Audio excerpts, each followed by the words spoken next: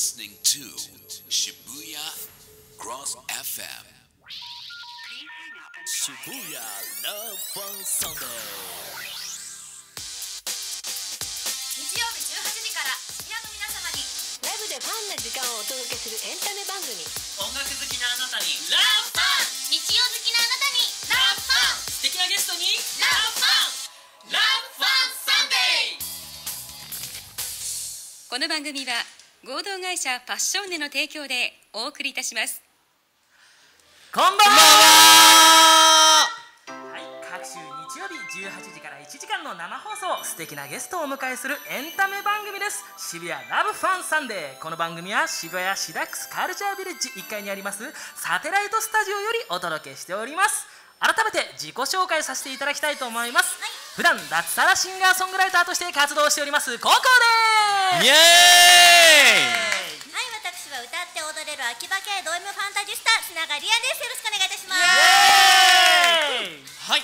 秋田県産演歌の王子様神崎りくですイエーイ4週間ぶり。4週間ぶり。はい。はいよろしくお願いいたします、はいよろしくお願いします。はい、こちらの番組では番組を支援してくださるスポンサーさんも募集しております。ご興味のある方は love ドット fun ドット sunday アットマーク Gmail ドットコムまでお問い合わせお願いいたします。おはい。願いしおます。願いします。高校先生はい。早速なんですけれども、はい。えこの番組この番組は渋谷でしか聞くことができないんでしょうか？おいい質問ですね。ありがとうございます。なんとこちらの番組ですね、はい。インターネットで同時生配信もしておりますのでおなんと全世界で聞くことができます。全世界？英語勉強しとかなきゃもっと。お確かにね。イエーイ。ラジオイエーイ。はいもう一ついいですか？はい。あのー番組を見逃しちゃった場合っていうのはどうすればいいんでしょうか？そんなあなたもご安心ください。あら。なんとですね YouTube にアーカイブ映像が上がりますのでねぜひぜひそちらの方から僕らのね番組チェックチェックしてください。イエイ。イーイということでね始まったんですけれども、はい。僕ね早速違和感を感じております。はい、3人一列横並びというね。今までにないパターンですよね。ないパターンですよね。こういかにもゲスト来る感も超出してますそうでけどねすね。ちょっと今の状況お見合いがいないああのパターンみたいな。そうですね。3人で喋ってねこう横を向かなきゃいけないみたいなね。ね。これ今日のゲストさんも楽しみにしてていいやつですよね。いいやつですねそうですね。まだ外に誰もいないですけれどもね。これからですこれから。はいこれからですね、はいはいさあじゃあ早速なんですけれどもね、はい。え1個目の綱川さんのコーナー行ってみましょうか。はい、いいですか？では私つながりやからせーの。3次元からの脱出。はいここは渋谷。しかし秋葉原も渋谷から30分で行けるいいところでございます。お秋葉原をこよなく愛するつながりやが秋葉原のいいところ。一押しのアイドルアニメメイドカフェの楽しみ方秋葉原グルメなどをご紹介いたします。今回はなんと皆様も一度は食べたことのある懐かしい給食が食べられる給食当番さんをピックアップしたいと思います。さあうんうんうんうん。こちらね実際に私行ってまいりました。場所的にはですね実は秋葉原からはちょっとずれてるんですけども、はい。最寄り駅がですね新御徒町駅になります。お。ちなみに私は秋葉原から一駅のところにあります御徒町駅から歩きました。徒歩8分です。8分。はい。でねこれね私ねランチタイムに行ったんですけど、はい。まずね店内に入ると若くて可愛いスタッフさんがピンクの割烹着を着てお出迎えをしてくれます。ピンクの割烹着？まずねこの段階でちょっとほっこりします。はい。はい、そしてですね2階が学校の教室を再現再現したパーティールームになってまして。パーティールームなんですね。はいもう本当ね小学校の教室。もうね黒板はい。ピアニカ、ほう。もう懐かしの机と椅子。掃除当番のあのくるくるするやつくるくるするやつ。ああ回すやつですね。そうです。はいはいはいはいあと時間割表、はい。黄色の帽子、はい。ピアニカ。ピアニカピアニカ2回目ですよ。本当だ。あとねそういろいろな細かい用意がいろいろしてあってですね。いるだけで本当にね小学生の気分にお戻れちゃいそうな感じでしたね。おう。んーうんうん。そしてねそう、はい。気になるメニューなんですけども、はい。まずね給食はアルミの食器で出てきます。ここでもねテンションが割と上がります。上がります。はい。でねランチも本当にメニューが豊富で、はい。私が頼んだのが揚げパン。揚げパン。懐かしい。懐かしい。そうとミートソースのソフト麺、うん。ああ、と肉団子スープ、肉団子スープ、うん。あとねミルメイク牛乳。おお もう本当に全部美味しいし懐かしいはい、うん、でね夜は居酒屋バーに衣替えしてまして。居酒屋バー、うん、夜のメニューも豊富になりまして、はい。おすすめはですね脱脂粉乳杯。450円。らしい。小学生が 脱脂粉乳杯。そうあとねメルミルメイク牛乳杯もあります。そっちは美味しそうですね。そうそうそうそう、気になる方はねぜひぜひ行ってみていただけたらなと思います、はい。うんうんうん。コウコさん給食の思い出とかあります？給食の思い出はですね僕なんかのご飯に塩かけて食べるのがなぜか好きでしたね小学校の頃。そんなことあります？ありますえてか塩はどこにあったんですか？塩は教室に1個置いてあってご飯よすって塩をこうかけて食べるっていうのが教室で何に使ってたんですか塩えご飯にかけるためじゃないそれだけ？それだけ？そのためです。よそのためですよ。はい、それではですね、ここで一曲、私の曲をお聴きください。はい。つながりやのセカンドシングルです。ダンシュダンシング男子。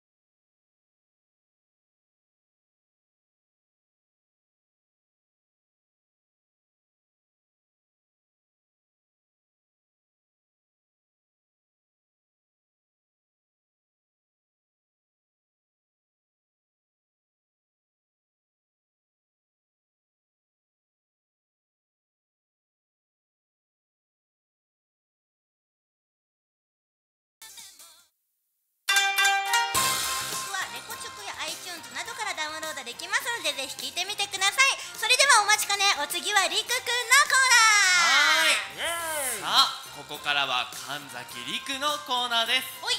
りっくんのハピコレミュージック。このコーナーは私神崎りくがライブで出会い発見したアーティストの楽曲やライブ情報を紹介します、お気に入りアーティストさんを見つけて明日への活力にしてくださいね、さあ本日ご紹介するアーティストは Nothing But You Nothing But You 通称 NoBut はレータレントプロモーション初の6人組男性ユニット。メンバーは新藤寛太さん小関達也さん松浦森郎さん小宮山健さん平間孝之さん竹中よし義孝さん。普段はですね役者モデルとしてテレビや舞台で活躍されております今年の4月15日にデビューをしそれ以降はメンバー自らが街頭に立ちチラシを配ったり定期公演を行いなんとデビューからわずか3ヶ月でワンマンライブを開催しました。はい、なんとなんとですねまた今月8月の11日には幕張メッセでお。開催されたメンズパニック2018にも出演し注目と人気を博しております。さあ本日はですねそんな Nothing But You のデビュー曲の「ダイヤモンドはそれでも光る」をお聴きください。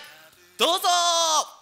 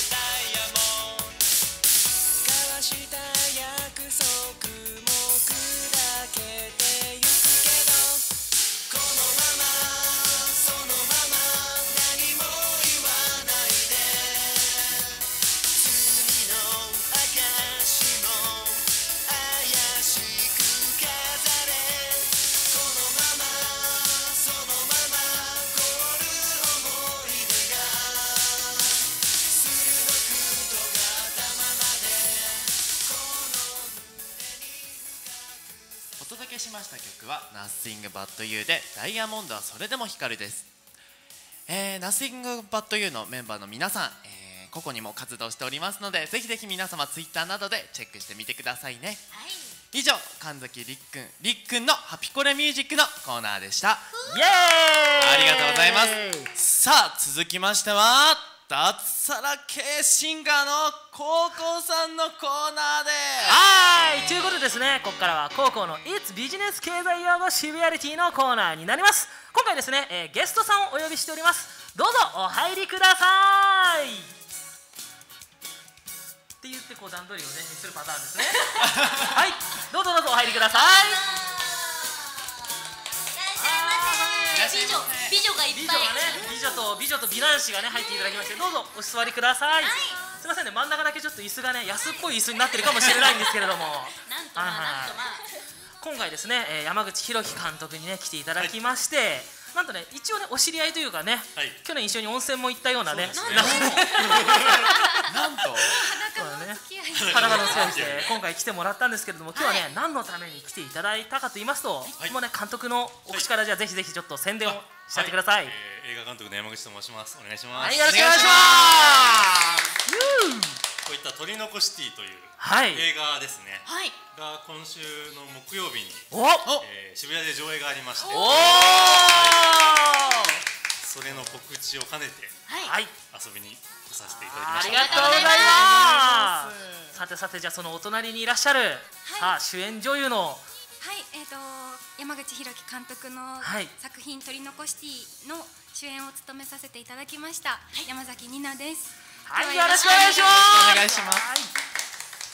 さあ、そして、と同じく取り残しティで岩田光役をやらせていただきました太田理恵です。よろしくお願いします。はい、よろしくお願いします。もうね、取り残しティといえば、あの人気ボカロ曲でね、はい再生回数がなんと1000万回千万回。でしたっけね。て今ちょっと適当に言いました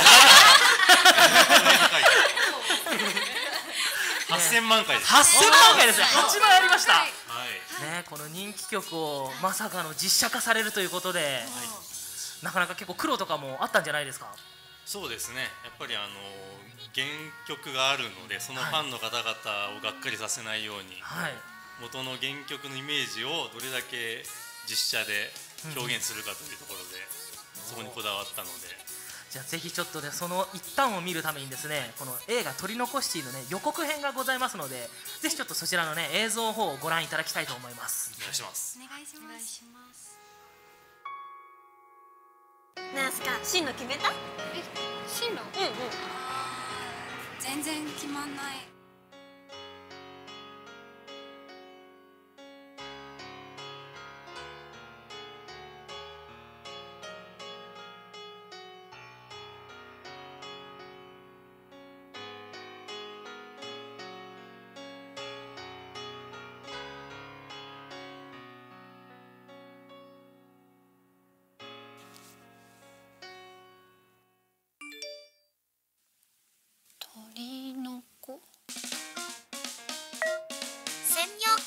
接続してください。ゲームか何か？専用機器を接続してください。あなたの名前は何ですか？何ですか？10文字以内で答えよ。私の名前は岩田光。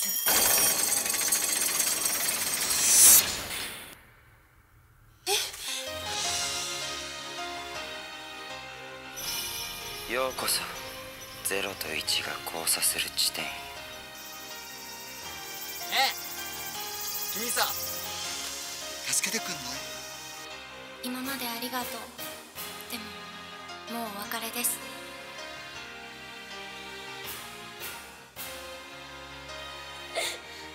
大丈夫。ママに会えたらなんて伝えたい？犯人を捕まえてほしいの犯人？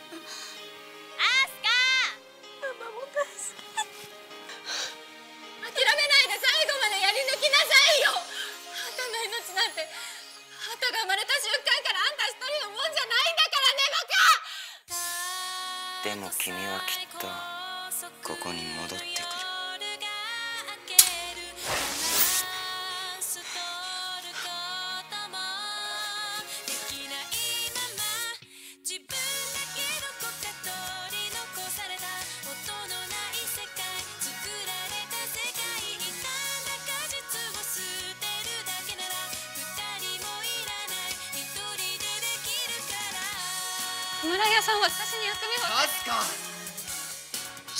自分の頭で考えろ。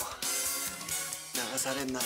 私の名前は何ですか？10文字以内で教えて。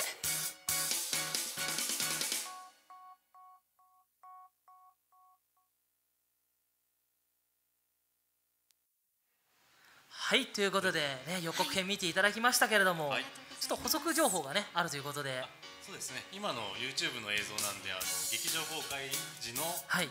告知が最後出たんですけど、はい。実際は今週の、はい。えー8月23日木曜日に渋谷でありますので、はい。詳しくは山崎さんから。おお願いします。そうですね。う4日後になるんですけども、はい。8月の23日に、あの渋谷のユーロライブさんにて、はい。特別の上映会を開催することになりましおた。ー。えーあの昨年の12月に新宿で公開してから大阪や名古屋やドイツのあの映画祭を巡って東京にもう一回戻ってきたっていうことで本当にもう1日限定なんですけども、はい。えー、と5回1日5回朝の11時から夜の8時まで計5回上映をいたします。でうち3回が舞台挨拶がありましてえー、と今決まっているのは山口弘樹監督私、山崎里奈、えー原曲者の 40m P さんもなんといらっしゃいます。あと企画原案の岩田祐介さんや、えー、とキャスターの山地真理ちゃんもいらっしゃることになります。いろんな裏話ができることになると思うんですけど。ぜひさらにぜひねまだスペシャルゲストが増えるかもしれない。増えるかも。おそらく増える。ぜひぜひじゃあ渋谷の皆さんはね、はい。渋谷ユーロライブにぜひ8月そうですね。23日来ていただいて、はい、あの詳しくは公式のホームページや公式のあのツイッターもやっておりますので、そちらであのチケットの予約とかもご案内してるのでお。皆さんぜひチェックしてみてください。早速予約いたします。ありがとうござい。ま す多分どこかの回にあの神崎現れるのでよろしくお願いいたします。ぜひぜひね見に行って見に行った感想もねツイートしてね。わかりました。はい。や今予告編見ててちょっとうるってきちゃったんで。いやー素晴らしい。ますのでよろしくお願いいたします。お願いします、はい。します。じゃあ早速ね今日お三方来ていただいたのでね、より深い話を聞いていただこうと思います。聞い。ていこうと思います、えーラブファンデンジャラスのコーナーです。ね、こちらにありますカード。ラブのカードファンのカードそれからデンジャラスのカードね。順番に引いていっていただきたいと思います、まずじゃあラブのカードからいきましょうか。はいこれはどなたからいきますか？やっぱりね太田さんに引いていただきましょう。太田姉さんこの中から一枚引いてください。はい。じゃらん。読み上げてくださいこの愛すべき仕事に目覚めたきっかけはおお聞きたいですね。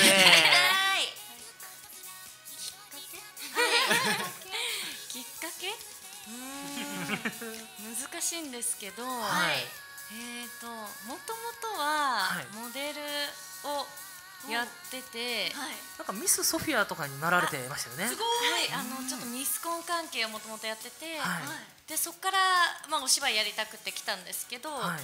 この仕事っていうのをどのどこまでのくくりにしたらいいのかなと思ってはい。はい。一旦映像女優でっていうふうに言うと,、えー、とモデルやってたんですけどモデルだとやっぱ写真だけなのでうん。表現の幅も少ないし、なんか、うん、もうちょっといろいろやってみたいなっていうのは思って、それで今の事務所に入って山口監督だったりとか、あの他の監督の方の作品を見たりとか周りの方が映像でやってるのを見て、すごい楽しそうだなとかなんかやりがいとかをなんか感じてそれで始めたのがきっかけです。これからじゃあ女優になりたいって人に一言何かアドバイスとかあれば？一言。うーんと最初結構多分大変だと思うんですけど、私も、ね、山崎さんも結構大変だった時期とかもあって、でもちょうどなんかその鳥の子もそうなんですけどやっぱり作品が上映された時に今回その鳥の子シティが本当に大きいスクリーンで自分の顔がアップでこうみ出ててそれを観客の人が見てなんか泣いてたりとかっていうのを見るとすごい嬉しいなとかうん。やっててよかったなっていうのがあったのでなんかそういう時のためになんかその頑張ってる時すごい1年目とか結構やっぱ大変だなとか辛いなとかあってもなんか本当にそのためになんかやっててよかったなみたいのはあありますねありがとうございますツイッターのあの直筆のはいお手紙見ました。ありがとうございますはいすごいなんかもうぐーっと心に本当にあのお芝居をすることが好きなんだなっていうのがすごく伝わってきました。あありがとうございますだから早く見たいです。もうファンになってます。いやもうあの予告編見て、なんかあれ見るだけでもなんかもう思い出してちょっとなんか切ないですよねすごい。ね何回も見てるんですけど、はい。本編も予告編も何回も何回も見てるんですけど、い。まだに見てもなんか切ないなとか、ちょっとまあネタバレなんであんまり言えないんですけど、は役柄的にすごい私が切ない役だったのでう見ると思い出しちゃうしネタバレでなんかあんま何も書けないんですけど、まあなんかお手紙はその映画でも実は手紙を直筆であの書かせていただいて。なんでそのつながりでちょっと映画見るだけじゃなくて終わった後とかもなんか楽しんでもらえたらいいなとは思ってます。楽しみですねけなげでいじらしくて強がりな 岩田ひかるさん役です。あありがとうございますできてるすごいチェックしてくださってるさあじゃあ早速ね次はファンのカードをね今度は山崎さんに引いていただきたいと思いますドキドキですね、めっちゃ緊張しますよいきなりじゃじゃん読み上げてくださいパフォーマンス前に必ずやることとはおこれは撮影の前とかでそうですね。ですかね。これはですねな自分のリラックス方法でもあるんですけどいつもストレッチは必ずやるようにしてて結構あの撮影朝早かったりすると体がまだ起きてなかったりしてそれこそ「トリノコシティ」の撮影なんかは深夜の2時入りとかでしたね。ー。最初のもう初日の出の時間帯に取らなきゃいけないというのでだいだいぶ早かったんですけど、なのでストレッチして体を柔らかくしてっていうのはいつも撮影前に心がけてやってますね。なるほど。ありがとうございます。じゃあはい。次はデンジャラスのカードをねいよいよ監督に引いていただきましょう、デンジャラス。おおいいの来ましたね。私意外とまるまるですさあ。さあ山口監督のね。や山口監督の新しい意外な。意外と何々ですが全然思いつかない、あらあらあらあら。デンジャラスな質問になっちゃいましたねこれは。一番引いてはいけないもの。そうですね。気になりますね。気になります。えごめんなさい。本当に何も思いつかない。じゃあもう一枚引きますか？あもう一枚引きましょうか。行きましょてるてるてるてるてるてるじゃん読み上げてください。う今だから言えるステージのハプニング。舞台挨拶とかね結構立たれてると思いますけど、なるほど。もしくは撮影の。撮影とかですね。今だから言えるすごい、はい。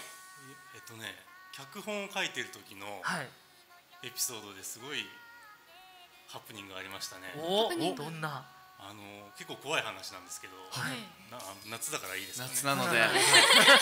脚本を昔書いてた脚本で、あのニュース映像の原稿みたいなのを書いてたんですね、はい。あのアナウンサーの人がしゃべる。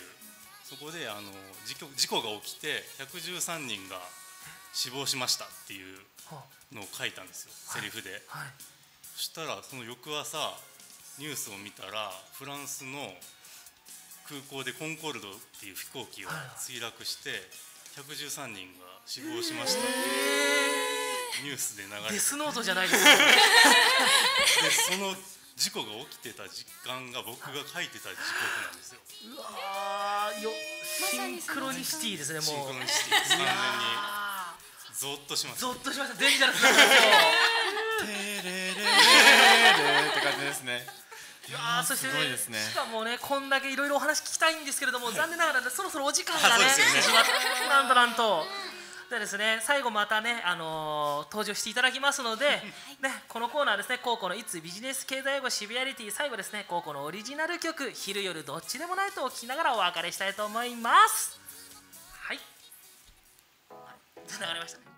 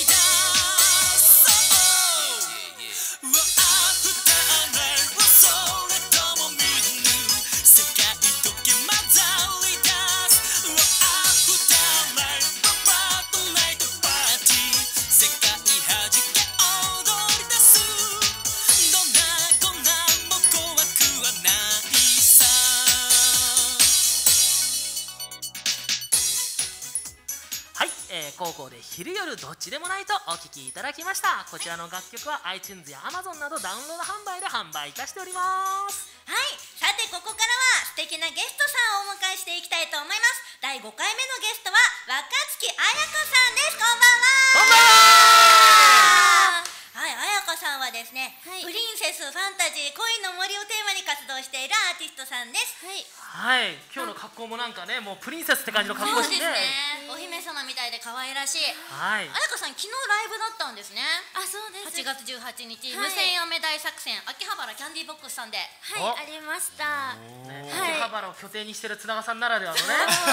見に行きたかったんですけどね。はい結構頻繁にライブをやられてるんですね。はいやってます。月に123週1ぐらいでできたらいいなという感覚でやっております。精力的にね、活動されてますね、はい。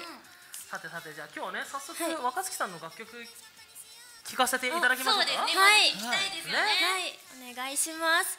じゃあそれではふわふわ聞いてください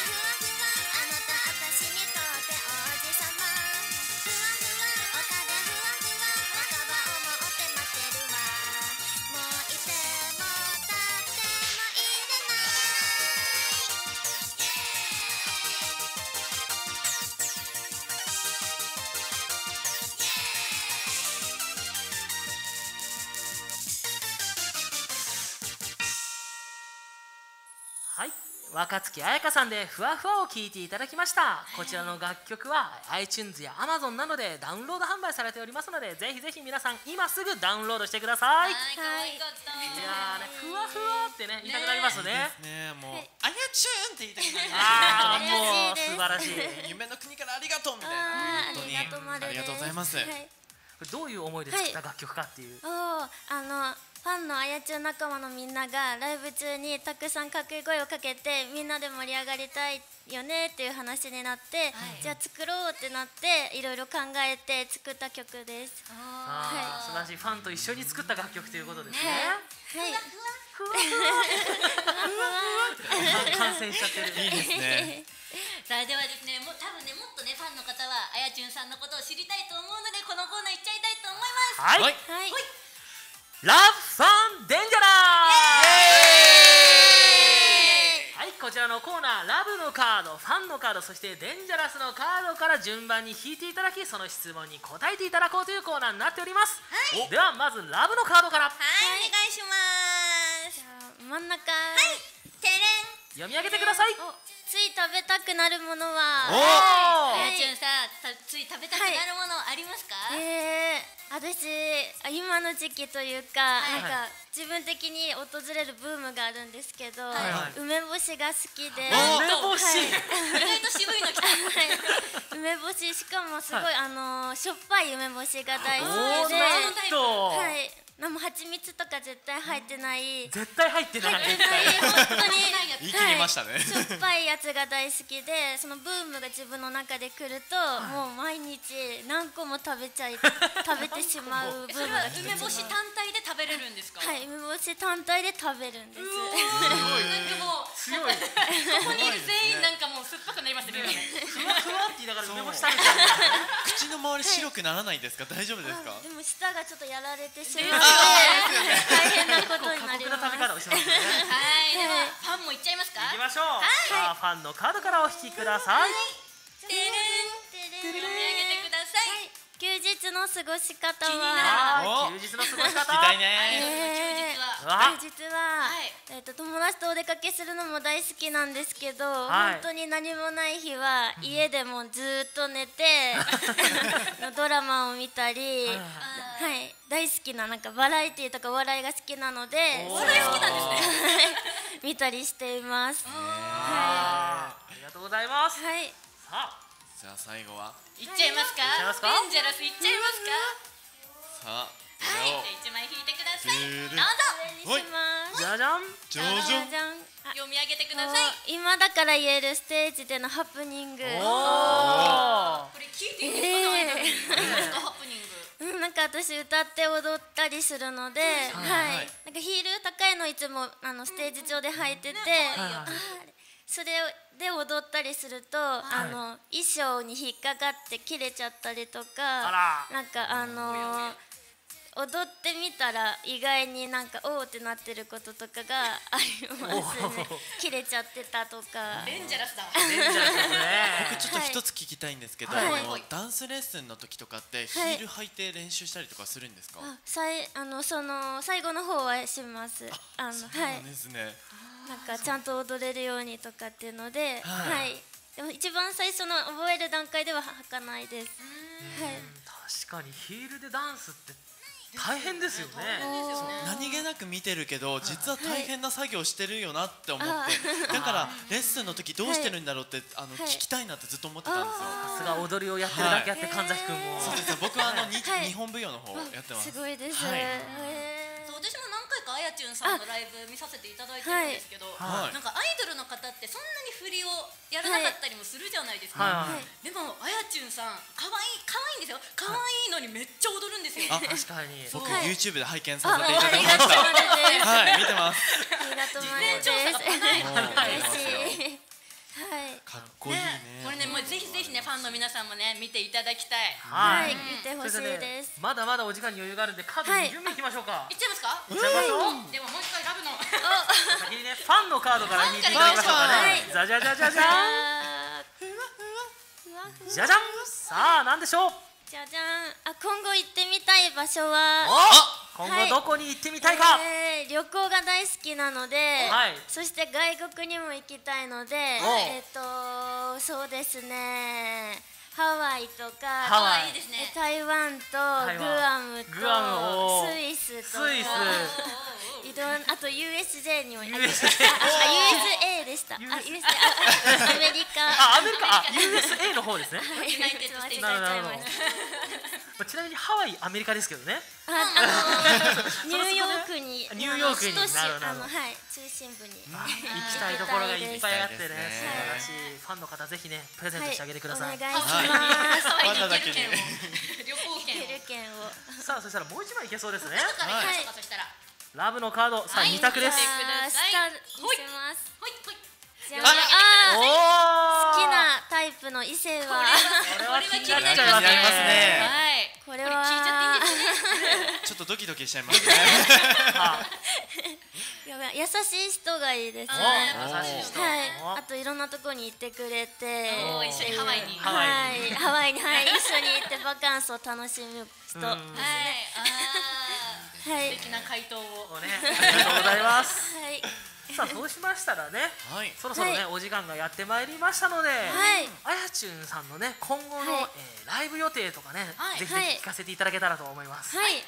なんとなんとえっ、と10月はい。8日にはい。すごく久しぶりのお撮影会をすることになりました。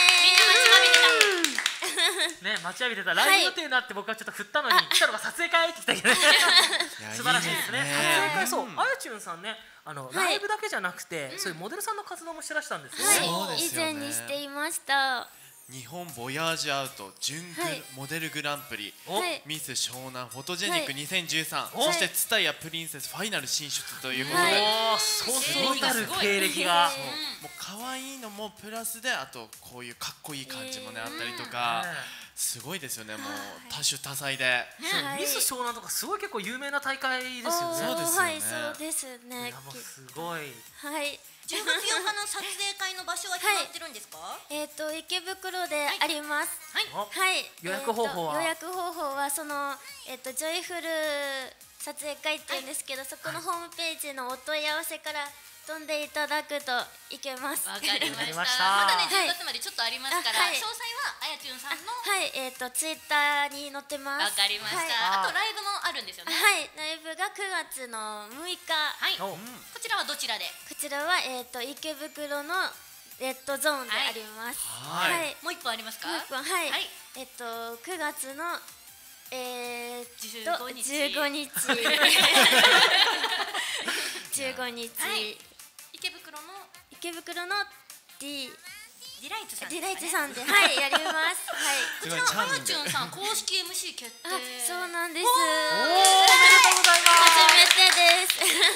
で同はいじイベントが10月にもあるみたはい。いで、10月13日でもあります。はい。はい。こちら予約はどちらにしたらいいですか？えっ、とですねアドレスのはい。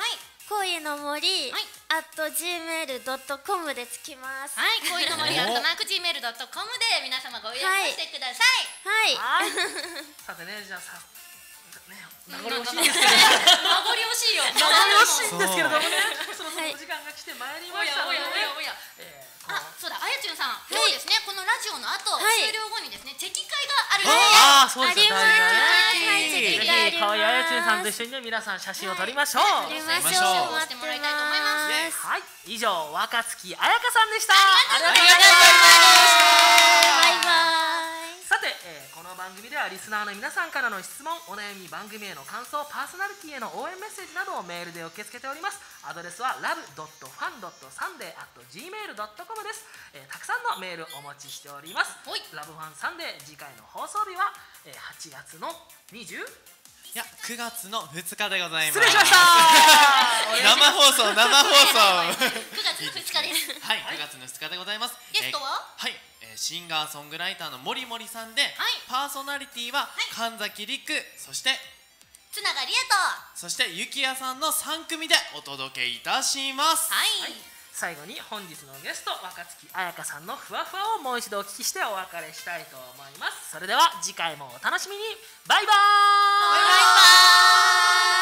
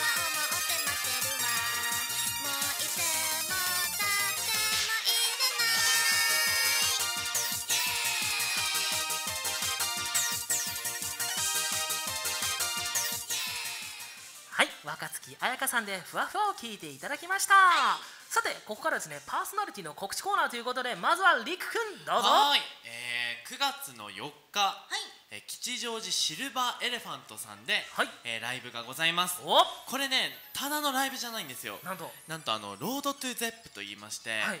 えー10月11月に開催される、えーダイバーシティであの開催される Zepp の出演をかけた予選会のライブなんですよ。なんとなんと。で投票制となっておりましてこちら1位で通過した方が、えー10月に両国サンライズというライブハウスさんでライブをして、はい。でそれで決勝に進んだ人がですねパスした人がそのゼップに出られるというですねもう神崎陸の人生が変わるかもしれないというですね そんなねあのライブとなっておりますのでぜひぜひ皆様、えー遊びに来ていただけたら嬉しいです、応援よろしくお願いします。よろしくお願いします。そして綱川さん。はい、私はですね、今のところライブは決まってないのですが、えっと、私のね、えっと、ライブ情報がちょこちょこツイッターに上がりますので、私のツイッターと、あとポコチ配信も最近始めましたのでお、つながりやで、津軽海峡の津、そして永遠の A、そしてひらがなのリアで検索をしていただけたらなと思います。願いします。よろしくお願いします。さて私高校からですねちょっと長くなるんですけれども、今ですねお台場の方で行われてますね。湾岸夏祭りというね行われておりますよね、あちらの方でですねなんと8月の23日にですね、取り残しの上映とかぶってしまうんですけれども、23日の、えー1時半からですね、えーマイナビステージの方でね1曲ライブをさせていただきます。でねこちらの方ですねなんとアプリのフェアチャンスというアプリの方でも配信されまして、はい。そちらのいいね数によってなんと賞金が100万円出るというね。すごい100万円。100万円。こちらのイベントの方ね8月23日に僕が出るほかですねえー第2回目のゲストで来てくださいましたウップサーデイジーの皆様、そしてねえー弊社合同会社パッションネの所属タレントである三崎愛理が8月21日にそして同じく合同会社パッションネのタレントであるトップオブトゥインクルというねダンスボーカルユニットの方がえー8月の24日に出ます、そしてえー同じくえー合同会社パッションネのタレントであります、えー、深澤セレナが8月30日にそして8月31日には、えー、ゆずりはみなこが登場しますのでねぜひぜひ皆さん毎日毎日お台場の方に来てみてチェックしていただければと思います。はい,はいということで駆け足でねあの告知をさせていただきましたけれどもね、はい、皆さん今日の放送どうも聞いていただきましてありがとうございます。